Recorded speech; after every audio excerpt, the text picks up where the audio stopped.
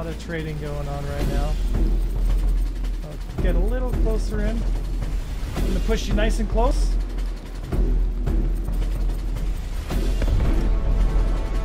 Very well done.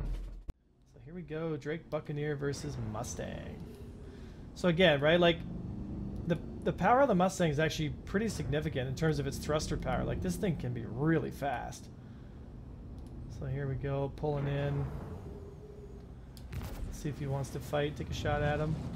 Okay, he wants to fight. So here we go. Whoop! Into a corkscrew. An S turn, back into a rate fight. Get my shields back up. Get corkscrew to shake any damage off. Get the shields back up, get the distance, back into weapons. Cut the turn.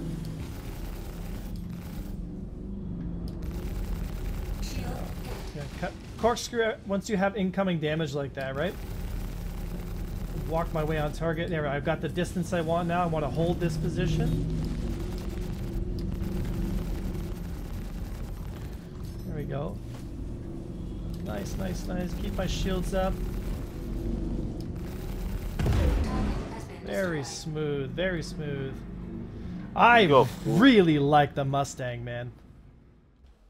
Okay, let's talk today a little bit about reactions based on what my enemy is doing. What's the proper reaction in what situation? And we're going to look at something called trading. So in certain situations, let's say you're in the Buccaneer, you, it's really not in your best interest to force a reaction for a trade. What I mean by that is you've got twice the gunpowder in the Buccaneer than the Mustang, and you've got more hit points, and you've got more shields. So you need to understand your strengths. The Mustang that we're using right here does not have more gunpowder, does not have more shields, and does not have the hit points. So how do we manage to get ourselves a win against the Buccaneer here? Well, I want you to pay close attention to what's going on in the left-hand monitor here, the left-hand MFD. I've received fire, boom, that's prompted a reaction to go into a corkscrew.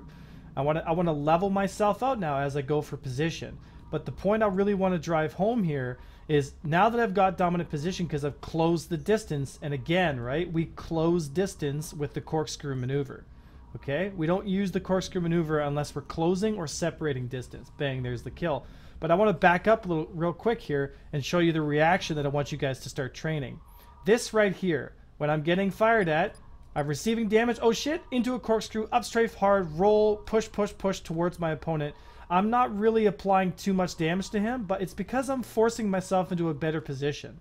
I want to get myself close because now that I have dominant position on the on the Buccaneer, he's he's lost the fight. I've got all this target time. Look how much target time I have before he even starts to start shooting at me. Okay, so this is something I want you guys to start training.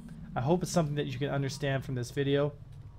But what's what you want to do in the less armored, I guess less um, less thick ship is once you start receiving damage, once you start to see, oh shit, I've got some sh- some shield damage, you want to force yourself to prompt that reaction. If if if anything, it's gonna waste their ammo, and it's gonna give yourself that little bit of extra time to get your shields back and win the fight. I hope this content was useful for you folks. I hope to see you all for stream. Please like, share, and subscribe if you feel like this content something that you enjoy, and I hope to see you in the next video.